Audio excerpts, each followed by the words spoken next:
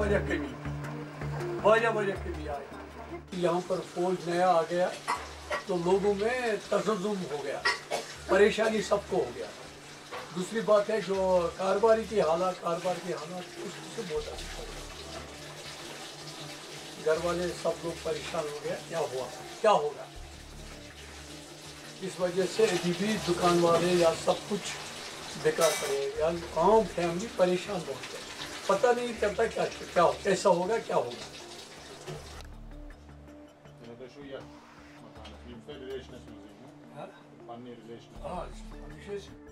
हमने सुना कि यहाँ पे हालात ख़राब होने वाले हैं।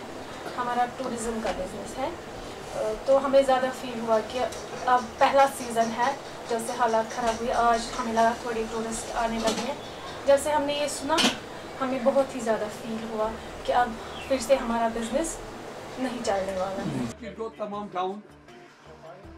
ये जो सरकार आई है सेंटर में जो बीजेपी सरकार आई है, उसने तो पहले से ही कोशिश की है कि आर्टिकल थ्री थ्री सेवेंटी और थ्री फाइव एट को हटाए। उनकी पहले से ही कोशिश लगी रही है।